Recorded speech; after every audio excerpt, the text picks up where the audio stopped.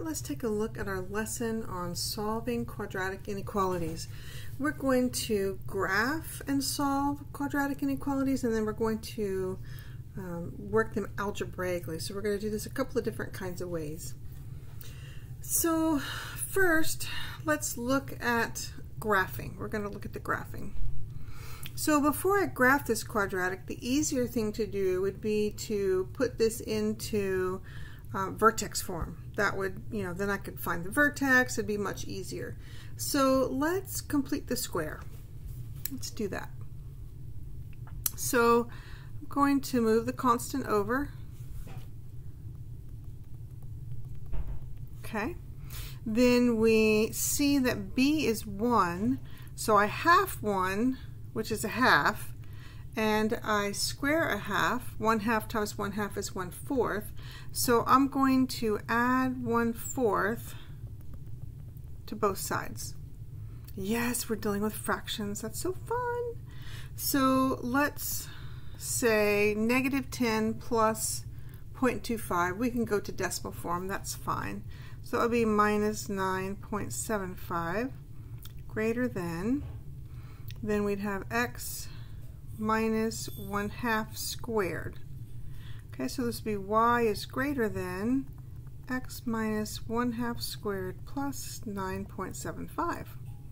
Okay, so our vertex is at 1 half 9.75.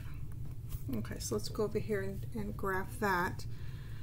Nice, so 1 half around here, 1, 2, 3, 4, 7, 8, 9.75. So we're looking at about right here.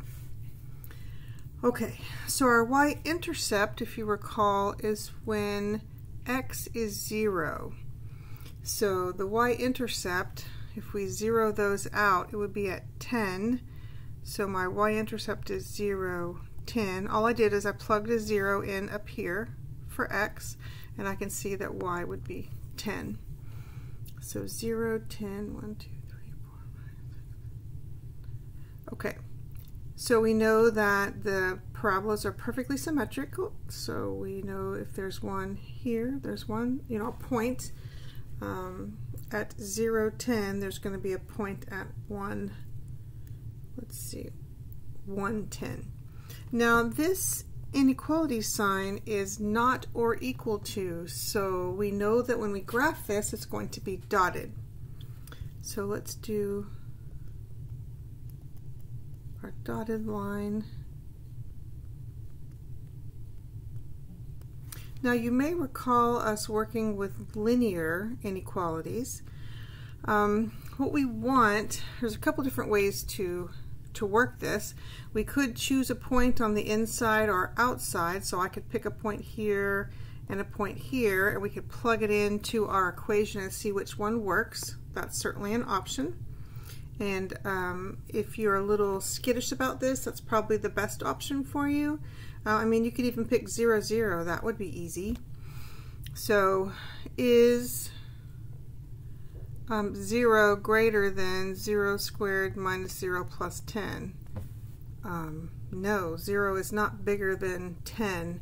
So we know it's not the outside that we need to shade, it's the inside. So let's shade that inside. So the other way to think about this, if you don't want to pick points, is you want to think, well, Okay, y has to be bigger. Where would y be bigger? Would y be bigger um, inside here or outside here? And hopefully you can see that y would be bigger inside the parabola. So that's solving with graphing. So let's move to our second technique where we're going to solve, actually we're going to be using sign analysis and I like steps so on how to do these. I like steps. So we're going to list the steps over here in this box. Um, okay. So here's the first step. What we want to do using sign analysis. We need to move all terms. So we're moving all terms to one side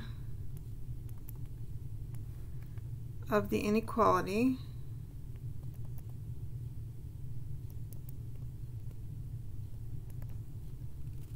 leaving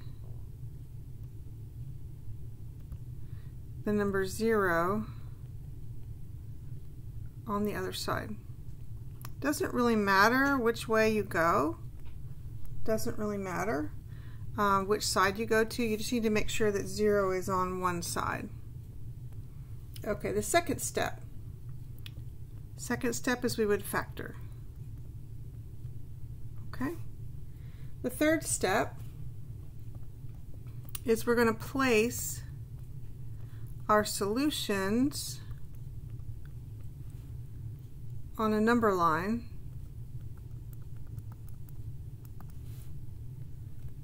These the solutions if you recall solutions mean these are numbers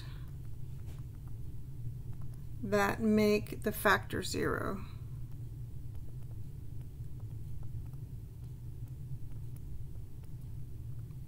just a reminder and we're going to do some examples so hopefully that will, will make sense and then step four, we're going to check the intervals.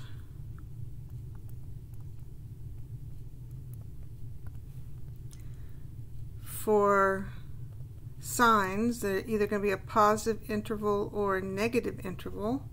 And then finally, we're going to write the answer. We'll write it either in um, interval notation, or we'll write it in set notation. That's a lot of steps, isn't it? Okay, yeah, that's a lot of steps. So let's start. Let's start with one that's already factored. That's gonna, um, so these are our steps. Let's start with one that's already factored. Great. So step one, move all terms to one side, leaving a zero on the other side. That's already done for us, and it's already been factored. So on this first one, steps one and two are done. So solutions, place the solutions on the number line. So what would, so x plus 2 equals 0 and x plus 5 equals 0. So negative 2 and negative 5. So we're going to place those numbers on this number line. So we've got a negative 5 and a negative 2. Okay, so that is step 3, place solutions on a number line. Next, we're going to check for the intervals to see if they're positive or negative. Okay, so this step you can actually do in your head. Um, I'm going to write it out so that um, it so that it makes more sense to you, I'll write this first one out. So we'll call this section A, we'll call that section B, and we'll call this section C. Okay, so in section A, um, I would choose, say, I don't know, negative 6. So then I would put a negative 6 in here, and we'll just put that under there. So negative 6 plus 2, negative 6 plus 5. So what is that? That's um, negative 4 times a negative 1. That is positive. So I have a negative number times a negative number gives me a positive number. Now, it doesn't really matter that it's a negative 4 to a negative 1. That doesn't really make any difference. It's just, so the significance is, is it's negative. Negative times negative is positive. So this is a positive section. Okay, this is a positive section. All right, so in section B, let's look at section B. Um, I would choose, and again, you can do this part in your head. You don't have to write it all out like this. I just am on the very first choose a negative 3. Um, that is inside that. We want to pick a number inside the interval. So I'm choosing a negative 3. Um, this time we'll do that in our head. So negative 3 plus 2 is a negative number. Uh, negative 3 plus 5 is a positive number. So this is a negative section. Okay, this is a negative section.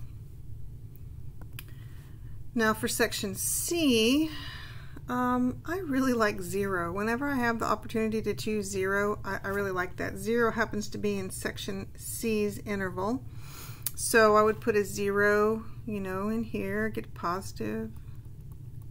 Zero in here, get a positive. And this means positive since positive is positive, so this section is positive. Okay, so we just completed step four, which is checking the intervals for whether they're positive interval or negative interval. So as you can see, we have two negative intervals and one, uh, excuse me, two positive intervals and one negative interval. Hmm, let's see what it wants. So we want our answer, okay, we want our answer for this to be larger than zero. So we want this to be larger than zero. So we have to ask ourselves, well, okay, which is bigger than zero? Is a positive number bigger than zero or a negative number bigger than zero? Well, I know you know that. A positive number is bigger than zero. So our we're going to do interval notation. So our answer, we're doing step five, we're writing our answer, is negative infinity to negative five. And this doesn't have the extra equal sign under it, so only soft parentheses are possible. And it's also from negative 2 to infinity. Whew, there we go. We did one whole problem with um, this, this steps. Okay, we got this. So let's um, do our second one. Now we've had a lot of practice with um, factoring and uh, well we'll just we'll just jump in. We'll jump in. We um, step one is already done. All the terms are on one side. There's just a zero over here. Great. Step two factor. Um, just so that my factoring is easier and we always like to look for GCF I'm going to factor out a negative 2 and that leaves me x squared plus x minus 12 Okay, we can't get rid of the negative 2. All right, don't get any ideas about erasing it or anything. It has to stay there. So we factor this um, quadratic to x plus 4, x minus 3. Um, we can see that our solutions would be 3 and negative 4. So, so I did number 2, I factored. Number 3, place solutions on a number line. So we've got a negative 4 and a 3. Great um, we want to check, so we've done number three, place solutions on the number line. Number four, check the intervals for positive or negative. So I basically have three things to check. This is negative. This turns out to be positive or negative. This turns out to be positive or negative. I don't know. We're going to figure that out. But that first one is always negative. So I'm just going to, so I don't forget, this, this negative just stands for the negative 2. Okay, so we will do our same thing. That's section A, that's section B, and that's section C. So for section A, I'm going to choose, I don't know, negative 5. Okay, so negative 5 plus 4, that's a negative number. Negative 5 minus 3, that's a negative number. So negative times negative times negative is negative. So this section is negative. Okay, section B, between negative 4 and 3. Hmm, let's choose 0 because, you know, I love 0. So we're going to choose 0. Okay, so I've got 0 plus 4, that's a positive number. 0 minus 3, that's a negative number. So negative times a positive times a negative is a positive. This is a positive section. Last section, we almost got this, guys. All right, section C, um, let's choose four. And again, you don't have to write all this out. You can do it in your head. I'm writing it out so that you really completely understand what I'm doing. Um, okay, what I mean by writing, I mean you don't have to write what you're choosing out. You can just do that in your head. Um, and you don't have to write these these parts out right here. You can just do that in your head if you want. You can just write that part. Um, but it's entirely up to you. Okay, so we're choosing a 4. So 4 plus 4, that's a positive number. 4 minus 3 is a positive number. So negative times positive times positive, that's a negative. So this is a negative section. Okay, so we did step 4. We checked our intervals for positive or negative. Okay, so now um, we need to figure out what our answer is. So this part needs to be greater, can't even write, greater than zero. See, we got greater than zero. So what's greater than zero? Well, yeah, positive number. That's greater, positive is greater than zero. So our answer now this is or equal to, so we need to be careful. Um, it could equal zero. It doesn't have to be just positive, but it could be zero. And we know that these are the locations where our um, inequality is zero. Okay, so let's see. So we would do a, a bracket, a hard bracket, negative 4. I'm doing interval notation again. 2, 3 because negative 4 and 3 are included because we can equal 0. That's okay. All right, and that concludes our lesson for this topic.